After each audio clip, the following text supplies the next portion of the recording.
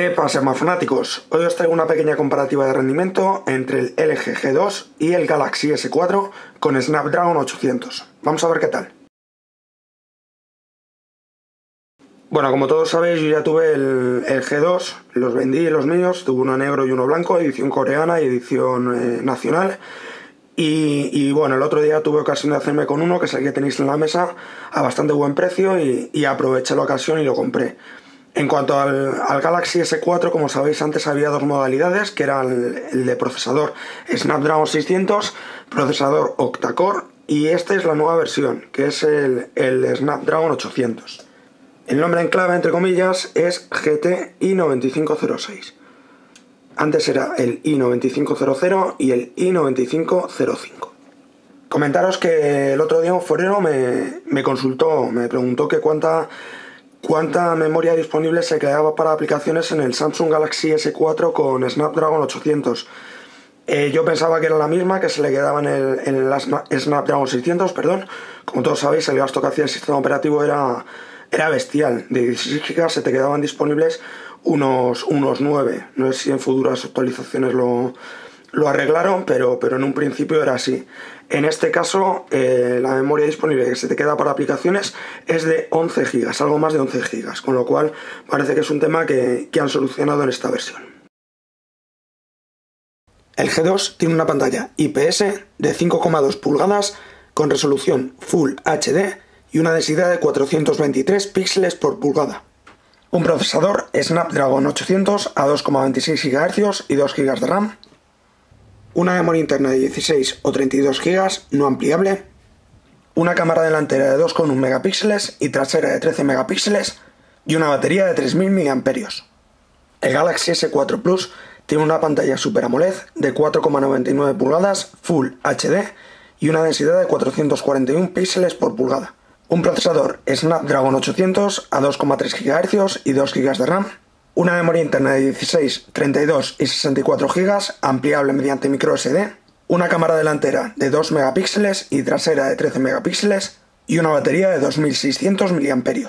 Bueno, como ya hice la comparativa en su día entre el, entre Galaxy S4 y el, y el G2, voy a pasar directamente a lo que es el, rendimiento. Os voy a dejar un enlace por aquí para que podáis ver la comparativa y así veis la diferencia entre diseño, cámara y, y demás.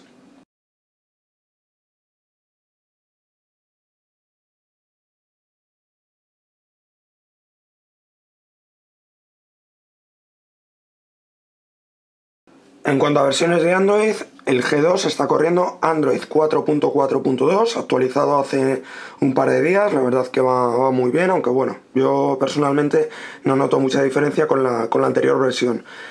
Y en el Galaxy S4 Snapdragon 800 tenemos corriendo Android 4.3. Bueno, empezamos con las pruebas de navegación. Vamos a la página de Sataka,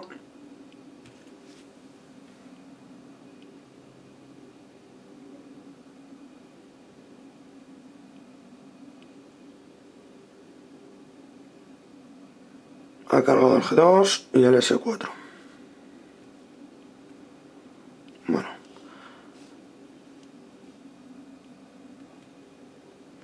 Ya ves que todo va bien. Vamos a otro enlace.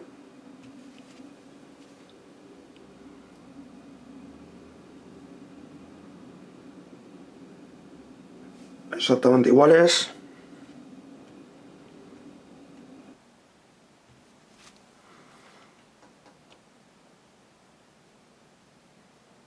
un poquito antes el S4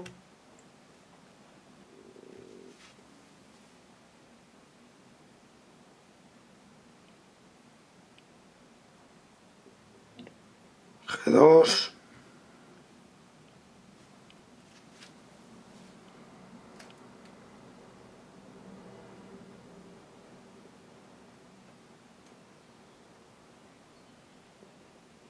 G2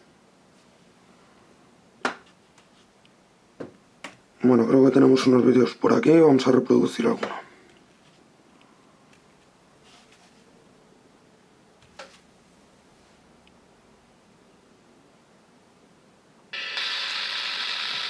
Iguales. Vamos con The Verge.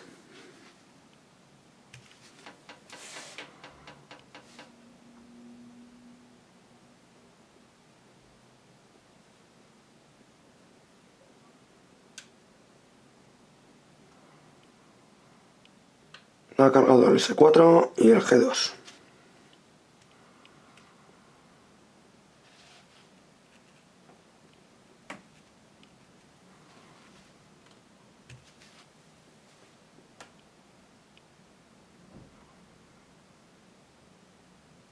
G2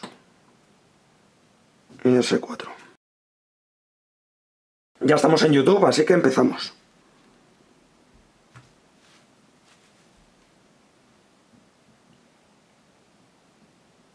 G2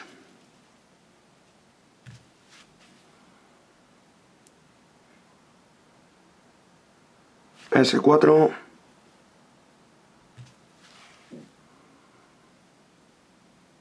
G2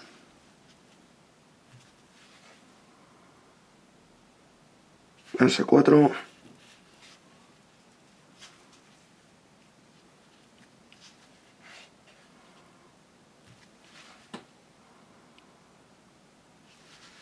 G2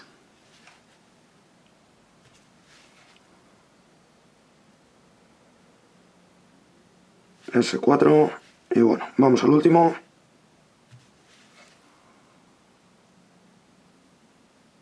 y G2 Vamos con los juegos.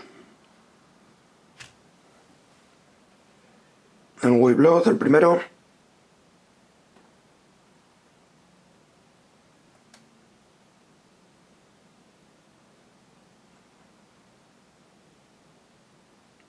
Ya vemos que carga un poquito antes el, el S4. Vamos al Modern Combat 4.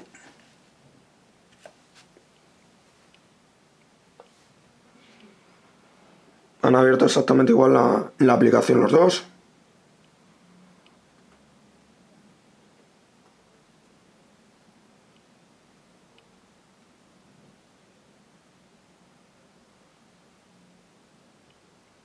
Y bueno, cargo un poquito antes el, el G2.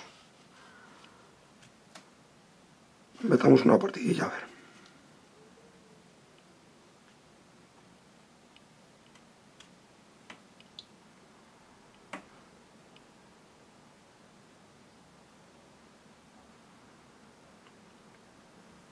Bueno, ha empezado un poquito antes el, el S4. Vamos al Shadowgun.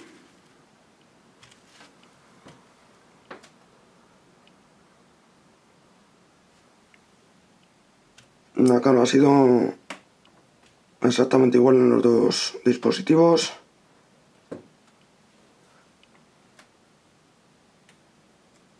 Y bueno, empezamos una partida a ver cuál, cuál carga antes.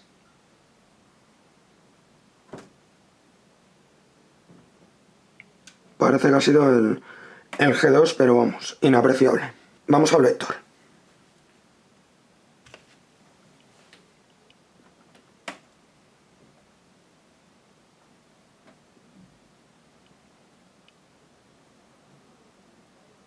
Exactamente igual. Bueno, empezamos una partida.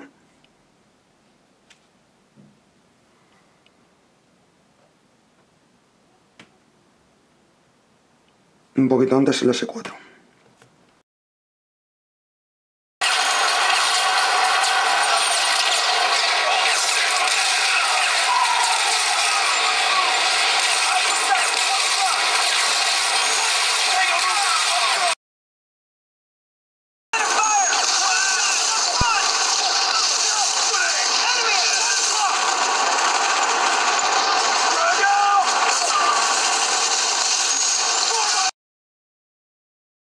Ya habéis visto cómo se desenvuelve cada uno de ellos y, y, bueno, simplemente decir que los dos tienen el mismo procesador, un poquito más potente el del, el del S4, pero la diferencia es prácticamente nula.